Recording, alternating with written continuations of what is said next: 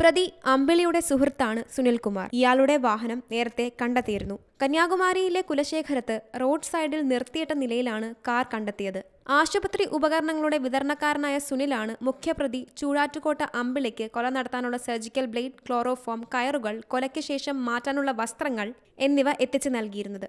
J വാങ്ങാൻ കാറിൽ കരുതിയിരുന്ന പണം മാത്രം തട്ടിയെടുക്കുകയാണോ?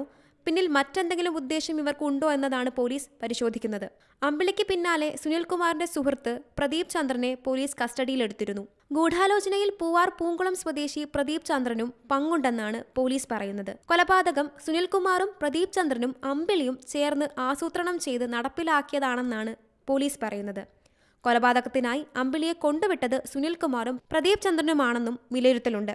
ഇരുവരുടെയും നിർദ്ദേശപ്രകാരമാണോ അമ്പിളി കൊല നടത്തിയതെന്നാണ് പോലീസ് പരിശോധിക്കുന്നത്. ക്വാറി ഉടമായ ദീപുവിനെ കാറിൽ കഴുത്തറുത്ത് കൊലപ്പെടുത്തുകയായിരുന്നു. നെയ്യാറ്റിൻകര മുതൽ കാറിൽ ഒപ്പമുണ്ടായിരുന്ന പ്രതി അമ്പിളി ദീപുവിനെ കൊലപ്പെടുത്തിയ ശേഷം കടന്നുകളയുകയായിരുന്നു. കാറിൽ നിന്ന് പ്രതി പോകുന്ന സി സി ടി വി ദൃശ്യങ്ങളാണ് നിർണായകമായത്. Zee Malayalam News Thiruvananthapuram.